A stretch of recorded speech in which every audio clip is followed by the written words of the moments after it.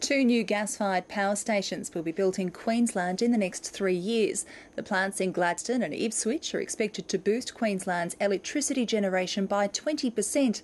But critics say the state should instead be looking at renewable energy options. Earlier this year, there were fears Queensland could be running out of steam. But the booming southeast of the state and central Queensland have been given a power boost. Without these power stations, we'll start to see shortages in electricity supply uh, across Queensland. So these are very important in terms of maintaining that reliable power supply across this growing state.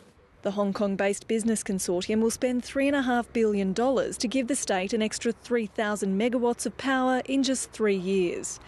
The clean green energy tag doesn't wash with everyone. It's disappointing to see such large scale investment in non renewable electricity generation in Queensland, particularly when we have such good renewable resources available to us. But Ipswich authorities are welcoming the investment in an energy source which emits 50% less carbon than coal fired plants. And what this will become is a modern Swanbank which um, is all based on um, sustainability, the new kind of power station that is um, gas generated, and the pipelines already in, in place. Both in Queensland and elsewhere in the market, we see gas as being the fuel of the future.